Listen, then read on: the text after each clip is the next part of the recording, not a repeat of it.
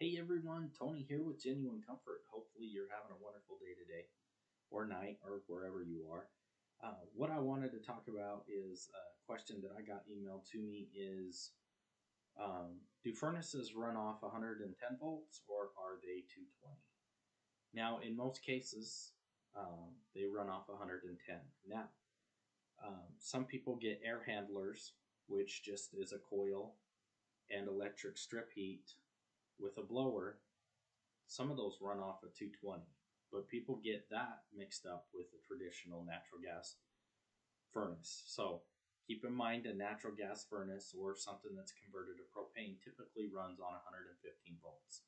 Air handlers, especially a long time ago, run off of 220, and even some of the bigger ones are even take more power than that.